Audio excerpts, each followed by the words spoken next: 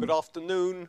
My name's Dean Godson. I have the pleasure of being your host uh, today uh, for this uh, most important uh, event with Dr. Moeed Yusuf, National Security Advisor to Prime Minister of Pakistan, the importance of uh, Pakistan in current uh, regional discussions and crisis is too obvious for me to need to enumerate at any length. We always like to bring you events of the utmost relevance uh, and importance, and I believe that this event with uh, Dr. Yusuf, who's coming in at short notice, uh, very much fits into that category. He's going to speak for 20 minutes, then very kindly agreed to answer questions. If I could ask the distinguished audience, please kindly to put up their electronic hands uh, at your earliest convenience so that I can have uh, some sense of uh, the range of questioners and questions that may be asked. And uh, if I have to disappoint anyone, my apologies, because I know there'll be many people wanting uh, to come in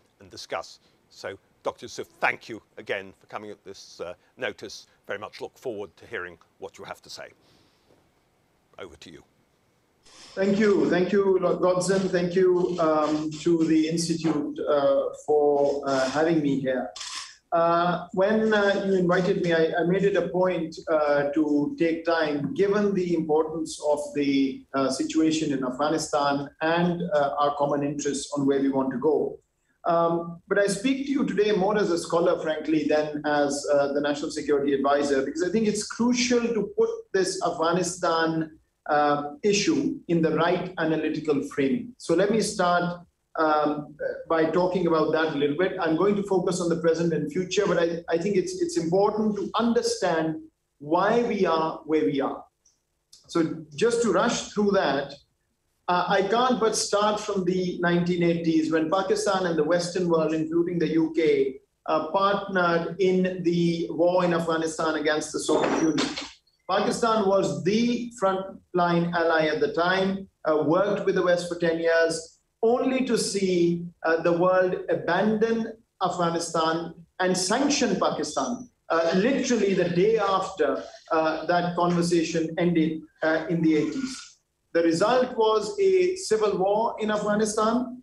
The result was over three to four million refugees in Pakistan. And I, I might um, remind the audience that we still have um, over 3 million uh, Afghans in Pakistan uh, as we speak. No other country has been more generous in this regard.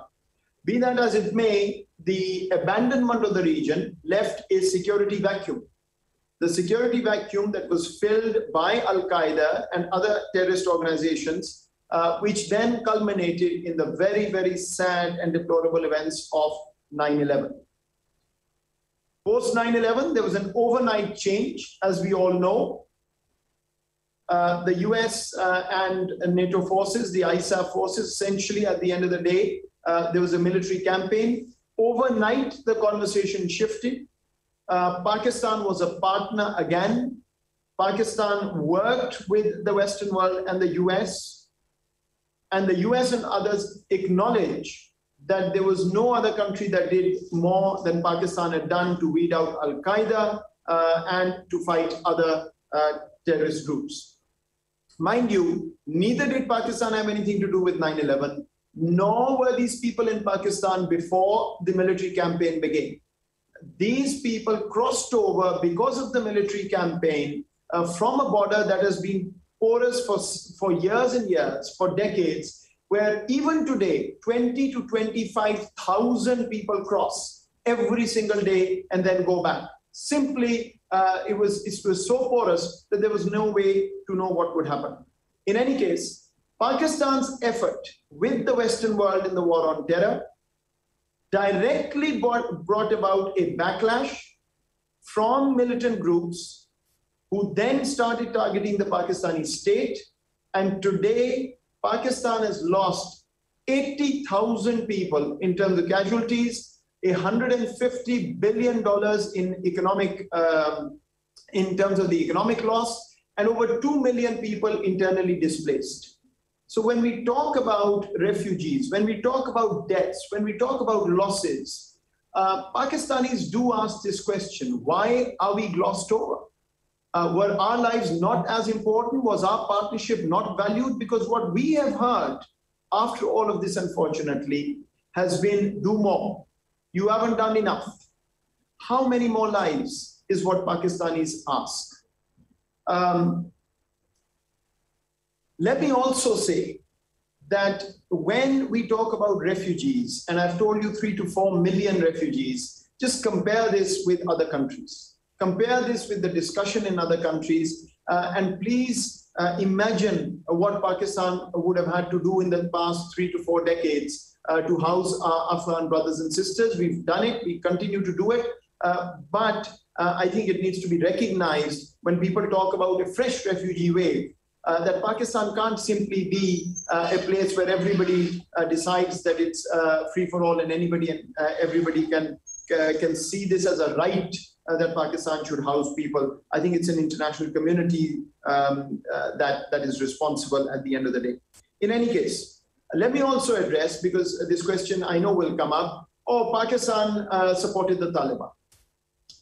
What was the allegation? the allegation was that people were crossing over from Pakistan into Afghanistan uh, to support the Taliban. So let me say two things. First of all, we have repeatedly said that Afghan refugee camps, we're talking of millions of people, camps as big as half a million in, uh, in some places. Those are the places where these 20, 25,000 people who cross over, some of them go and melt away in the refugee camps. Now, in half a million people, you're asking me to tell, tell you every single person. It is not possible for any state. And that is why we constantly ask the world the situation is Im- improving in Afghanistan. The world says there is a government, there's governance, there's money. Why not take these people back? Who is going to take, who's going to ensure a dignified return of Afghan refugees? We got no response. Um, if that was the problem, if Pakistan's uh, crossing over from Pakistan was a problem. Why wasn't there any movement on that? Next, in 2011-12, we offered Afghanistan joint border management. No response till this day, uh, 10 years later.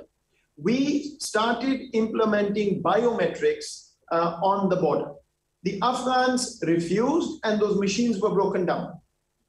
More recently, we have fenced 97%, and the rest of the 3% will be done soon, of our border with Afghanistan to ensure that there is no crossing. We got opposition from Afghanistan. Nobody supported us. We had to spend our own money on it. We have said, stop this business of 20,000 people crossing over just on ID cards. We should go to a formal visa regime, like any country in the world would have with another country. There is strong opposition has been from Afghanistan.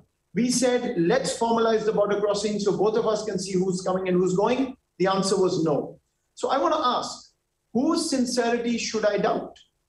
The Pakistan that is saying, if you think there is a problem, let's man this border and jointly observe it? Or the country that kept blaming Pakistan but did not want to do a thing?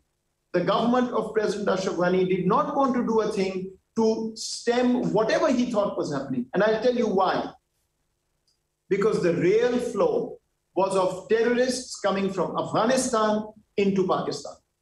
That's the conversation they did not want to entertain. And I'm sorry to say that the global narrative just went along with them, uh, blaming Pakistan when really Pakistan has been the victim of the war in Afghanistan for the past four decades. Lives lost, terrorism, refugees, everything that I've told you. In any case, let me also say that Pakistan is the only country that has been speaking the truth for the past 20 years. It was difficult to absorb. We were shunned away, but it has been proven right today. What were we saying? Only a political settlement is possible. Do not try and manufacture a military uh, solution in a uh, context of Afghanistan. Nobody has been able to do it. It will not work. Uh, the, the allies, the uh, international forces wanted to go for total victory. We kept saying the government, its legitimacy is challenged. Afghans don't take it as legitimate. They live in a bubble. They don't have the pulse of the people. They are corrupt. We were told, no, this is what we've invested in. It is all good. We kept saying, now American officials are writing books saying that Pakistan back in 2010 said this army cannot stand up the way you're doing it. It's ethnically disproportionate. You can't stand up an army that will fight in 10 years revisit your model. We were told, no, this is where we are going. In fact, um, we were then asked to engineer a political settlement. We tried whatever we could. The Doha process started. We were given credit for it, and we were told to leave the room. There is a misconception that somehow Pakistan was involved in the negotiations. It was the US and the Taliban that agreed to a deal. We were not in the room. We were not told. It was the US that was talking to the President Ashraf Ghani government along with other Western countries. We were not involved. We were never asked when the deadlines were agreed to for the troop withdrawal. This is something that the statements coming out of UK officials and Pakistan we agree on, uh, because at the end of the day, we were talking about a responsible withdrawal, which meant political settlement before the withdrawal. Unfortunately, uh, what has happened, we were not uh, asked at all. To the contrary, what was the popular narrative? The popular narrative, unfortunately, throughout was, oh, Pakistan is the problem. The army will fight. President Ghani met Prime Minister Imran Khan. I was present in the meeting in Uzbekistan literally a month ago and said, we will fight to the last soldier. Uh, we have democracy. People stand behind us. Uh, this was the mantra that we've been hearing for years. I want to ask everybody what went wrong. Who was lying to the Western taxpayers about the reality? Was it Pakistan? Or was it this popular narrative that was created by elements in Afghanistan? Today we know, we are not saying this, international media is reporting that President Ghani, uh, the palace had 170 people whose job was to create fake trends on social media to malign Pakistan. Allow me to also say, our eastern neighbor India played a very negative role continue to tell the world uh, through fake media campaigns, the EU Disinfo Lab, not Pakistan, the EU Disinfo Lab, a reputed organization last year put out a report. 114 countries, over 750 fake websites. India had set up to do one thing, malign Pakistan globally. But forget about that. What I want to mention here is this is why the entire focus remained on a non issue and the real problems on the ground of corruption, of lack of trust, of the army not being able to stand up were completely ignored. They were all positive stories coming when Pakistan kept saying, please look at Afghanistan. This is not going to go in the right direction. What is the result? An embarrassment for everybody, a capitulation of the Afghan army, no will to fight, uh, President Ghani fleeing away, um, talking differently and doing different things. Um, why did no Afghan stand up? This wasn't because of Pakistan. Pakistan did not tell the Afghan army not to fight. Pakistan did not tell President Ghani to leave. The Taliban took over the north and west of the country much before the south and east fell. How could Pakistan have anything to do with the north and west of Afghanistan bordering Iran and the Central Asian republics? So I really do think that the world should now stand up and say, we will learn lessons. There has been something that's gone horribly wrong, and we will learn lessons. We will not try and find a scapegoat, which unfortunately I still see attempts being made um, in, in some media uh, outlets in the West. Let me come to where we are. Number one, the best case scenario would have been if President Ashraf Ghani and the Taliban would have agreed to a political settlement. That's gone now. The worst case has also been avo uh, avoided, thankfully, which was if there was a protracted conflict on the ground and spillover of instability into the neighboring countries. But now is the challenge. We have a reality on the ground. Taliban are control, in control of 95% of Afghanistan. Their initial statements, uh, I don't have to say this, but I'm only quoting General Nick Carter, who said that we are cooperating with the Taliban on the ground. There seems to be a very straightforward relationship. The Taliban are cooperating. Uh, we need to be patient, give them space. Taliban, we may well, uh, there may well be a Taliban that is more reasonable, um, uh, etc. So General Carter is, is saying, let's try and see what could be done. And Pakistan's message is exactly the message of the UK and others. There should be an inclusive government. There should be rights protected. There should be a moderate governance model. This is where we need to engage as the international community. Let me come to what I really think is the message I want to leave everybody with. In the 1990s, a major mistake was made by abandoning the region. Everybody from former US President Bush to uh, Secretary of State Hillary Clinton to UK leaders were on record saying, we will never make this mistake again, otherwise, we'll have to live with the consequences. And that is exactly what we need to remember. Today, we need to have a coordinated, concerted effort as an international community to engage for the sake of the average Afghan who is going to be left, who is already drought stricken, who does not have enough food. By the way, not today, but even under the previous regime, this was true. The message going to the average Afghan, the 30 to 40 million Afghans, is who we owe it to, who the Western international community that spent 20 years in Afghanistan must not abandon now. Pakistan cannot bear the brunt of more refugees. Pakistan has faced enough spillover in the past. So it is very sad to see when the conversation again goes into, uh, oh, well, cannot be worked out. Uh, the world should now uh, leave, uh, should teach um, the Taliban a lesson. Well, think about the Afghans on the ground. We are talking about evacuation. It is critical. Let me also tell you, by the way, that Pakistan has evacuated over 7,000 uh, internationals and their associates, 18 countries, 18 country nationals. Our own airline has stopped internal aviation and has gone and evacuated people. More than 25 uh, female journalists were evacuated in less than 24 hours. No other country is doing more to evacuate Afghans. But ladies and gentlemen, let me leave you with this. We cannot signal to the Afghans that the only ones who matter are the ones who were fortunate enough to be associated with Western and international organizations. If today the world makes the mistake of the 90s, I want to be categorical. The results cannot be better than last time. If we again find the easy path of saying we are done and out of here, the international legitimacy of the Western world would disappear in one second. We will have a humanitarian crisis, we will have instability, and we will have a security vacuum that terrorists may fill, targeting again um, Pakistan first and the Western world uh, second. We, Pakistan is in a position to help. We will do whatever we can. We are doing with evacuation. We will do with engagement. We will do with counterterrorism cooperation. But, Excellencies, it cannot be that Pakistan is demeaned in the same breath as we are requested for assistance. Pakistan's uh, sacrifices, Pakistan's efforts must be recognized. And this new wave of trying to scapegoat Pakistan, saying, oh, um, you know, there is Pakistan and Pakistan is unstable. Pakistan is not unstable.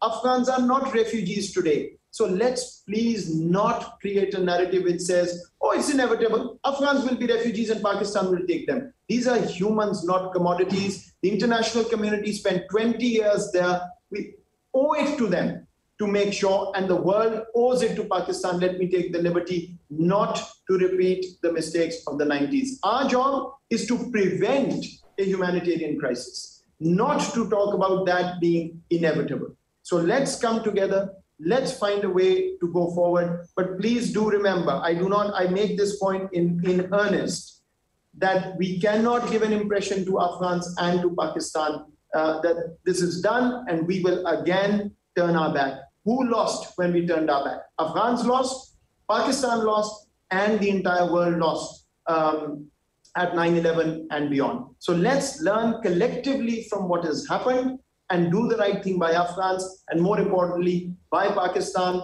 because nobody else, nobody else could have done what Pakistan has done to help, and nobody else is better placed uh, to continue that in partnership with the world. Uh, we cannot be alone because we are a responsible actor, and the international community must take ownership. Military withdrawal has happened. Now we need to engage even more politically and economically. My last line there is no economic plan for Afghanistan that we have. Unless we come together to create that, how is the average Afghan going to survive? That's a question we must implore on, and that's a question that must keep us awake at night. Thank you very much. Thank you. say, Dr. Uh, Yusuf has kindly agreed to answer questions. I, I, could urge you all to put your electronic hands up so we can get a full flavour of the range uh, and identity of questioners. I see first uh, hand up, uh, Right Honourable Marquis of Salisbury, former leader of House of Lords. Lord Salisbury, can you hear me? I, I, I can, Dean. Can you hear me? Hear you loud and clear. Thank you. Please fire away. Uh, Dr. Yusuf, uh, it's many years since I've been to your beautiful country. The last time was in 1989. Uh, having spent nearly 10 years uh, uh, involved in the Soviet Afghan war in a very peripheral capacity. And I can testify then to the hospitality that your country gave to millions of refugees. I also think that you are right when you say that um, it was a great mistake not to have a, um, an interim government in place for when the Soviets left. And indeed, um, uh, President Zia uh, asked me to go and talk to Mrs. Thatcher and President Reagan, accompanied by Sahabzada Yaqub Khan, his then foreign minister, to try and persuade them of that. But I also have to say that I do have a question about how unified the agencies of the Pakistani government were then and whether they are any more unified today. Back in the 1980s, under President Zia, there was an almost unspoken agreement that the ISI had a pretty free reign in Afghanistan. I think that deal uh, uh, was, and that was in exchange for their not interfering internally in Pakistani affairs.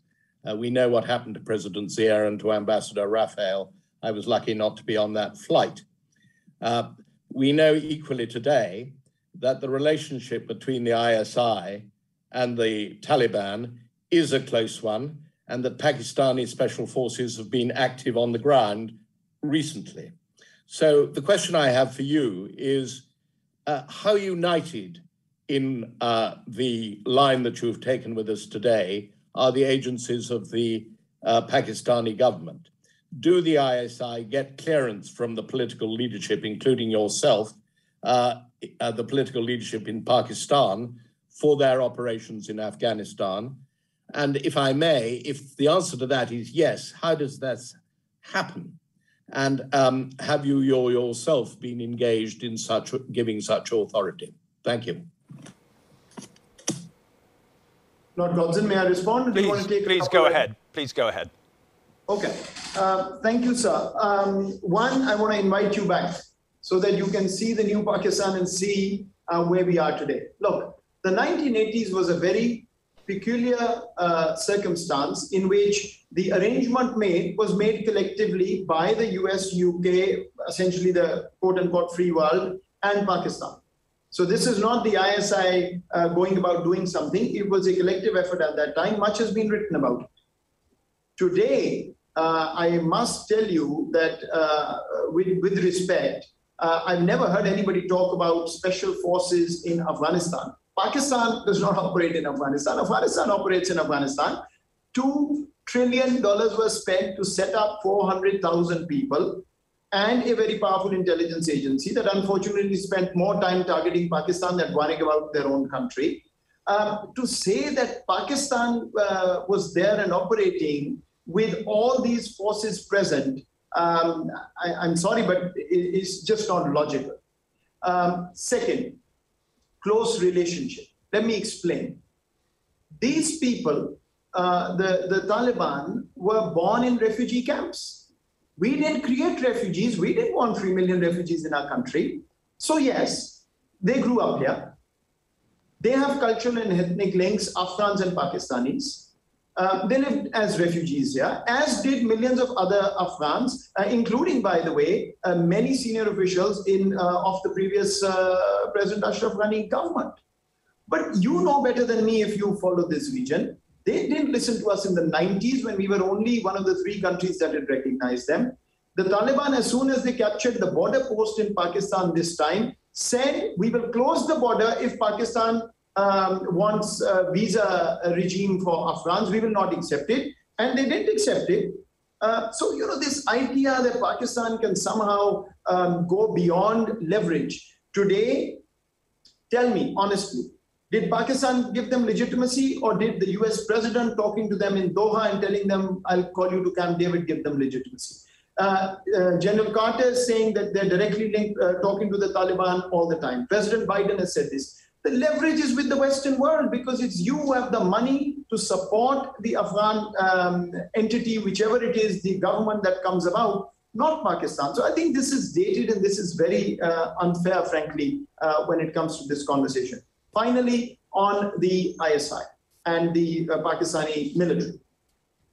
You have, sir, sitting in front of you, Pakistan's national security advisor, no political, no military, no bureaucratic background. I spent uh, 17 years of the past 25 years in the United States working for um, uh, a, in the think tank world, uh, teaching at Harvard and Boston University. Why am I sitting here? If the establishment was in such control, would somebody like me, whose background is in strategic thinking, be sitting here?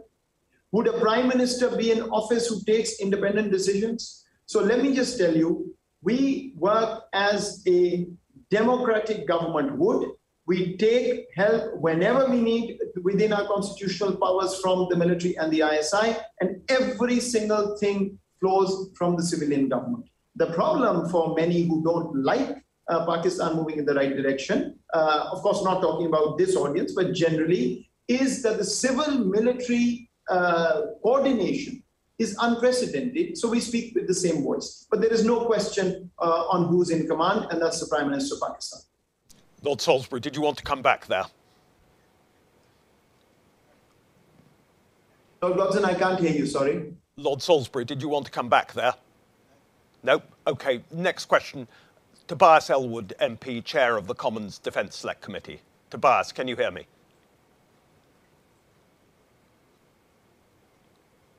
Just, I can hear you loud and clear. Dean, thank you so much for organizing this. Dr. Yusuf, thank you for your time as well. A fascinating uh, discussion.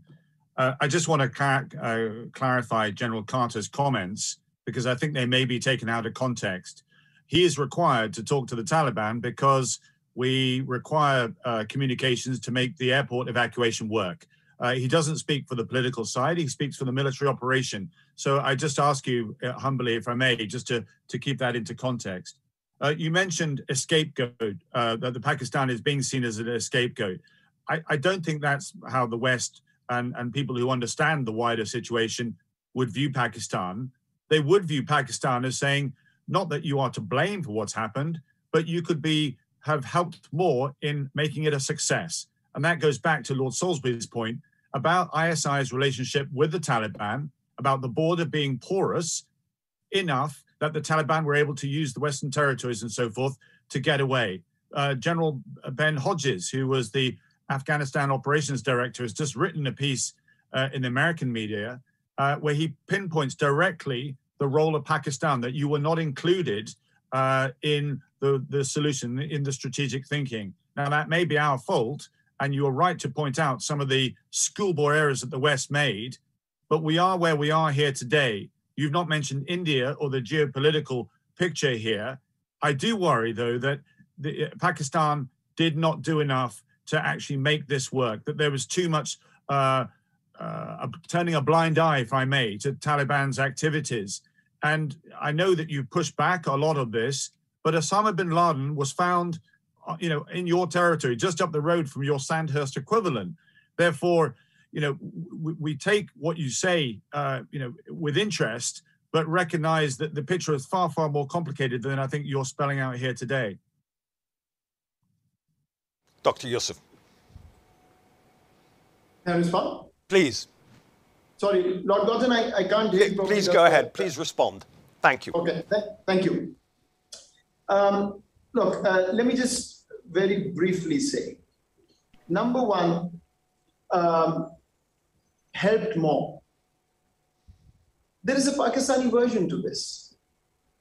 Which other country has done what Pakistan did?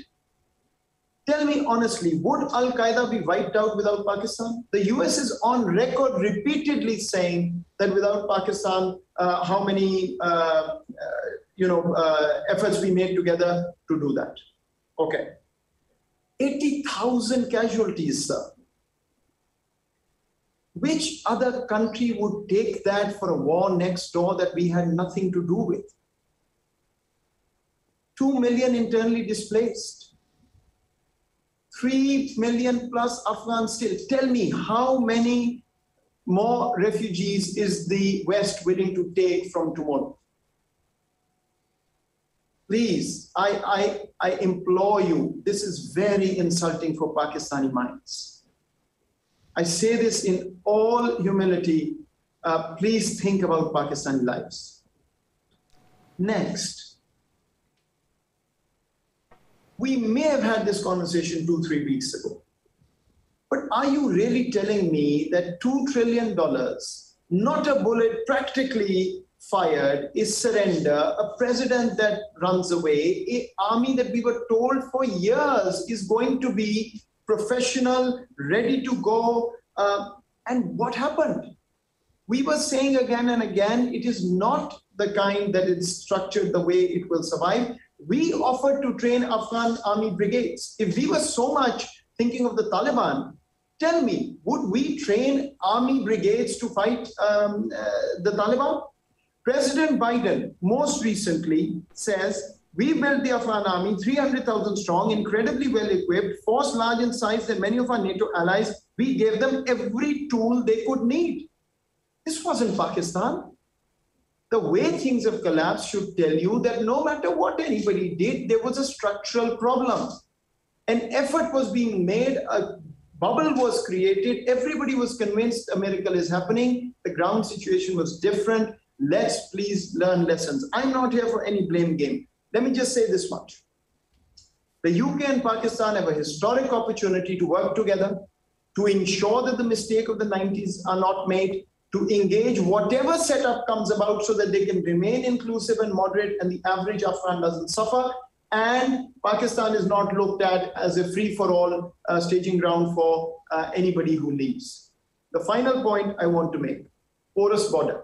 Yes, it's been a huge problem for us, not for anybody else, for us because we were taking the blame. I've just recounted for you six things that we had concretely put in terms of policy and a fence that we put there. Who was opposing it? The Afghan government who was telling the Afghan government uh, that this should not happen this way? Those who were supporting the Afghan government. So why blame Pakistan? Please look at where it was the opposition was. It was in Kabul, not in Pakistan. Thank you. Nusrat Ghani MP, former minister, senior fellow here at Policy Exchange. Nusrat, can you hear me? I can hear you, Dean. Can you hear me? Loud and clear. Thank you. Your question, please. Thank you. Thank you. Thank you, Dr. Yusuf, for giving us your time today and giving us a robust representation of events from Pakistan's perspective. Um, there's no denying that we can't allow Pakistan to pick up the pieces because there is so much to do. But having said that, you mentioned um, a humanitarian crisis, an economic crisis, and a security crisis, and also your confidence that the Taliban will have in place an inclusive government. What leverage do you think that you have above and beyond the West to ensure that one crisis doesn't follow after another? You've also talked about the the huge generosity you've shown to refugees in the past.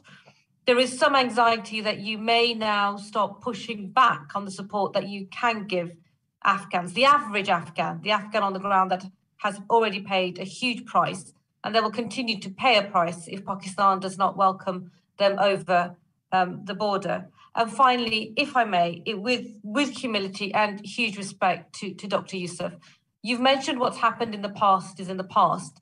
Um, and in particular, I reflect on your exclusion in, in Doha. But having said that, your actions now going forward will speak far more than anything in the past. And I think that perhaps a more realistic interpretation of the ISI's involvement in the Taliban will help progress relationships going forward?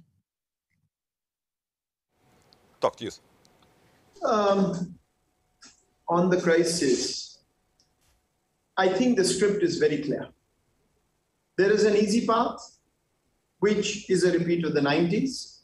Those who were involved for 20 years in Afghanistan basically turn their back and say, this is not for us anymore, thank you very much. That will create a governance crisis, which will lead to a humanitarian crisis, which will lead to a refugee crisis, which will lead to a security vacuum, and the results will be seen 5, 10, 15 years down the line. There's a more difficult path. The path is difficult because it's politically difficult for uh, the countries that were involved. It is difficult because one would have to acknowledge that it was an internal failure in the policy of Afghanistan that has caused what uh, where we are today. But that path means engagement. That path means I'm not confident of what the Taliban will do or not do. That's not for me to decide. That's for all those who are engaged to figure out. And the way to do that is to coordinate a consensus. Our foreign minister is right now touring all immediate neighbors of Afghanistan to create a consensus. We hope that the Western world will get included in that consensus on how to keep the government inclusive, how to ensure moderation and human rights, and then how to assist to ensure that a country runs and the average Afghan does not suffer. Now, if we are not going to do that, to be brutally blunt, what we are saying is we only care about the 20, 30, 40,000 Afghans who were associated with us, and the rest of them, good luck. That would be very unfair. History will judge us very, very poorly if that happens. If today uh, uh, the West abandons Afghanistan, the result is known. I don't think we need any uh, mental genius for this. And if we are going to walk away despite that, then I'm afraid there are going to be questions uh, asked about our sincerity uh, for the average Afghan. On the refugees, ma'am, uh, with, with respect again, why is it taken for granted that there will be refugees? That's the first thing. I, have said it, that we need to avoid that. Nobody wants to leave their country under distress and under duress. We need to avoid that. Even if there is going to be a refugee issue, we should, the international community should work together to create internal um, secure zones in Afghanistan in the bordering regions so that the Afghans don't have to leave their country uh, till the situation stabilizes. But when you say that Pakistan will pull back the support, may I also ask what the rest of the world is willing to do uh, to take up any displacement that happens from Afghanistan? May I also uh, point to the fact that Pakistan got economic distortions, a Kalashnikov culture, drugs in our country because of this flow? Is it not the responsibility of the international community to support Pakistan's view that we need to ensure a dignified return? Other countries also need to share the burden. Have an international plan. Right now, everybody is just passing the buck. We need an international plan immediately, and Pakistan will support uh, whatever we can. But please don't see us uh, as the only country that somehow um, it, it, has to do this. We don't have the capacity. Our people cannot deal with this. We can barely deal with our own education and hospital um, uh, requirements. We are a country of 220 million. Please uh, also understand our perspective on this. We are willing to support, but the world has to take this responsibility. Uh, and first of all, we need to ensure there are no refugees. Way forward, I've answered. I think it is where we go, but it has to be direct engagement with the Taliban. Don't look at Pakistan because our leverage is what a neighbor's leverage is. We don't want instability. We don't want protracted conflict. So we'll do whatever we can to avoid that. But the real leverage is with countries who are going to provide foreign assistance, who are going to recognize or not recognize. We have to do that together. The West has more leverage today, I would argue, uh, than us. And finally, I can't resist saying we can have whatever conversation we want about Pakistan. I, I have no problem with that. But the starting point has to be lessons learned on what happened, uh, why Afghanistan has gone in the way it has gone in the last three weeks. And why the 90s, we said we won't make that mistake. Why is the average Afghan on the ground asking whether the same mistake is being made again? That's the starting point. I'm open to any conversation, but I will repeat. There was one country that was telling the hard truth for 20 years. Nobody listened. The result is in front of us. Let's not blame the victim. Pakistan has suffered because of this war. Thank you. Tom Tugendhat MP, Chair of the Commons Foreign Affairs Select Committee. Tom, can you hear me? Dr. Yusuf, look, thank you very much indeed for your uh, perspective. It's extremely welcome to hear a Pakistani voice on this.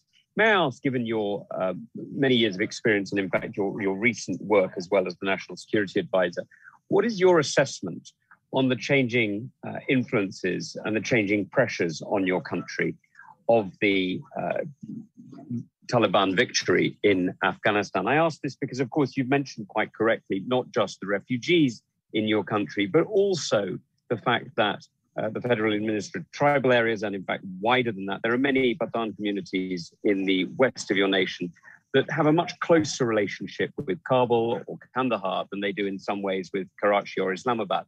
And we know as well that the government of Afghanistan, at least up until a few days ago, did not accept the border between your two nations and described it as a temporary Durand line uh, uh, response to a, to a different time. These, of course, will put pressures on your country in order to make sure that these do not spread instability.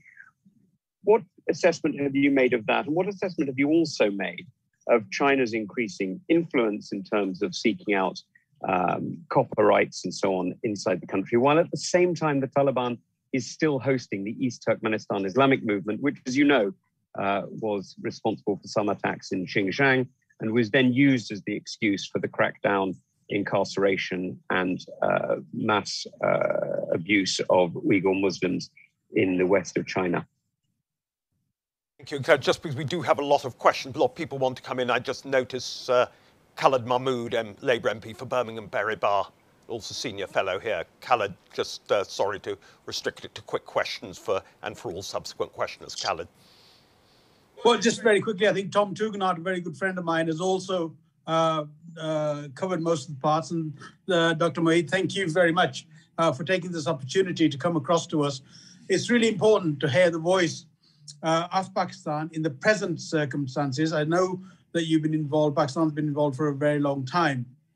My issue is, first of all, uh, that very quickly I mentioned on the debate that we had last Wednesday, uh, which is clearly about the status of the people coming over, the refugees that were coming over in droves uh, into Pakistan, how that you need to support international support to, to, to actually look at, at, resolving that at source where you are, without those people having to come through uh, all sorts of crossing through Pakistan and through other areas uh, and some ending up in uh, to, to, to their deaths.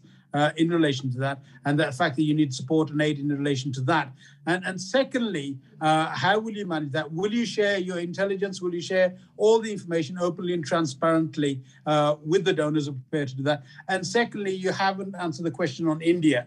Uh, and I think some of the issues that, that, that may affect you in relation to the role that you think India has been involved in in Afghanistan, as well as uh, sort of the uh, in the region, the neighbors in the region, uh, in negating that. And thirdly, and very finally, a lot of the que- questions been in relation to the ISI services uh, and whether that will be now completely transparent in the negotiations and discussions you have on the way way forward. Do you want to go ahead, Dr. Thank you. Uh, try to be brief. I mean, refugees, I think Tom mentioned it and, and um, the worthy MPs also mentioned it. Look, I want to repeat. It is why are we talking about refugees and refugee crisis as inevitable? I think the question is how do we prevent it from happening? And the way to do that is governance and some stability and peace in Afghanistan where refugees don't get created in the first place. So, you know, I think there is a step we are missing here, which is the step that every uh, Afghan would want. It's a self respecting nation, it's a courageous nation. They would not want to be refugees anywhere else. Um, the ones who are here in Pakistan, we have been saying dignified return for a reason. So we must avoid that. Second, again, my point is why is this conversation so taken for granted that, of course, Pakistan will do this, and if Pakistan doesn't, oh, it's bad on Pakistan. It's an international responsibility. We are saying, let's prevent this from happening. Second, it's tied to the other point uh, made uh, uh, by Tom. I'm glad you raised this issue of the interconnectedness of the border regions. That's the complicating factor. We have such interconnectedness. And, you know, frankly, this issue of Durand Line is, is made up. I mean, the entire world uh, accepts it as an international border, but it's porous. The Afghan side does not agree that we should have a formal visa regime and only those people should cross who have visas. So people come and go. And it's a huge problem. And that's why we keep saying there is more and more pressure in the society in Pakistan uh, dealing with this problem. And we cannot afford a protracted conflict with more people uh, spilling over. Please understand this is a national existential issue for Pakistan. Others sitting 5,000, 10,000 miles away are talking about one refugee and 10 refugees, and we see the debate in the West. And sorry to say, you everybody has every right, sovereign countries and regions, but please accept that we've generously taken 3 million and there is debate over 10 more or 20 more in the West. Um, and so, yes, these are all linked, these are complicated. That's why we keep saying separate the two. Formal visa regime, Afghans remain where they are, create secure zones if needed for internal displacement, temporary. And if you have an issue, again, an issue is raised about ISI again and again. Uh, how much transparency do you want? $2 trillion in Afghanistan, forces in Afghanistan, close collaboration with uh, Pakistan throughout. What other uh, country would allow this? And still the result is 80,000 casualties in our country. You know, we need to drop this talking point. Uh, there is, the Taliban have a whole country under them. What safe haven are we talking about? Their entire country is under them. Why would they need any other territory? Right now, we need to step up to the plate and start this conversation. Somebody earlier mentioned General Carter. I'm not at all saying he's representing the political side. I'm saying in an interview, he clearly said what he said. Um, that's all I'm saying. They recognize over 20 years Afghanistan has evolved, etc., uh, etc. Et so my point being, I'm only relaying to you that there is an opportunity here. If we are going to just continue harping on a point that is unproven, that is illogical and baseless, it does not bode well for the future. And right now, the only conversation should be about we, where we go in the future. On China, um, look, there is a there is a contradiction in terms here. On the one hand, we are we are not seeing a clear stance on what's the future in terms of the countries who are there for 20 years. Where do they want to go with this? Uh, are they going to engage? Are they? Uh, how are they going to engage? What terms, etc. On the other hand, we say China's influence is growing. If a vacuum is left, other countries will fill it. And of course, China is the most powerful country in the neighborhood, and they will fill it if, if that vacuum is left. So that's a decision the Western world needs to make. But we can't say we are not going to engage, but China's influence should not increase. That's, that's I think, an oxymoron. Um, finally, on India, you know, I mean, again, I'm not here uh, to blame anybody, but I just very plainly give you Pakistan's uh, data-based perspective we have put out dossiers from last year uh, cataloging Indian use of Afghan soil to create terrorism uh, and destabilize Pakistan. India for 20 years has invested in Afghanistan primarily to undercut Pakistan. Look at the places they've uh, they've invested. Uh, the media that they turned against Pakistan by putting millions of dollars into that was not service to the uh, Afghan nation. And the narrative they managed to create was, oh, Pakistan, the problem. What happened? Everybody took their eye off the ball of what was happening within Afghanistan, the corruption, the governance failure, the lack of legitimacy, uh, the fact that the army was not ready to fight. And the end result is that the entire world is embarrassed. If what Pakistan was saying would have been heard, today we wouldn't have been where we are. And overall, last word I would say on, on this um, India issue everybody who's willing to close their eyes to the ideology that is being spread by the government of India domestically, the expansionist behavior in the region. Every neighbor of India has a problem with India today. We will be doing it at our own peril. There is a storm in the making, and the way India is going, even those who partner with India today will be left uh, embarrassed and stunned, just like we've been in Afghanistan. Let me leave it at that. Thank you. I'm afraid we're out of time now for further questions. I want to thank everyone for coming in. I say gladly, if there's anyone whom we've not been able to accommodate, to uh, pass your questions on for response, particularly also from uh, anyone in media organisations. Again, Policy Exchange always likes to be at the forefront of discussing uh, the great issues of the day in timely uh, fashion, and uh, we're very grateful to Dr. Yusuf for coming in today. for giving uh, Pakistan's perspective here and uh, look forward to welcoming you all back soon. This will be not the last that you've heard from us uh, on this and look forward to welcoming you back in the very near future. Thank you. Goodbye. Thank you very much.